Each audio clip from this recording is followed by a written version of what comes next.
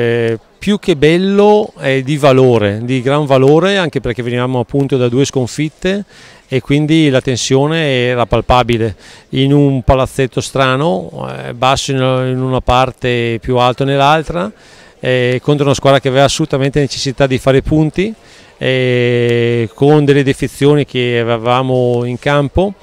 eh, però abbiamo fatto un bel 3-0 importante